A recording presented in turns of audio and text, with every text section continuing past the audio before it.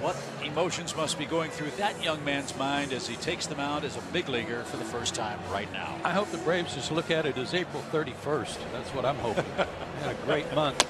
It's a chopper back to the mound, and Soroka, nimble and quick, makes the play.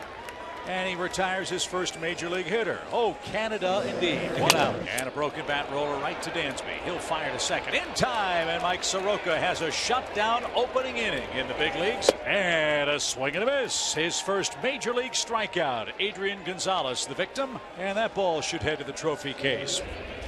Swing and a miss. Three up, three down. Two strikeouts for Soroka.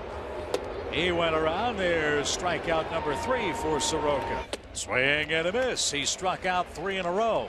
How many of you had Mike picking up more strikeouts than Noah Syndergaard after a couple of innings tonight? Payoff pitch. Little bouncing ball towards second. Flip to second for one. And at first they got the double play. He struck him out. Nido's left stranded 90 feet away. Ice water in the veins of Mike Soroka. He's out dueling Noah Syndergaard. Driven to right, pretty well hit. Markakis going back, checks the wall. He's got room, he's got it. And that retires the side. He made big pitch after big pitch tonight. He's in line to win his major league debut. A lot of smiles from Brian Snitker, Walt Weiss, and Chuck Hernandez.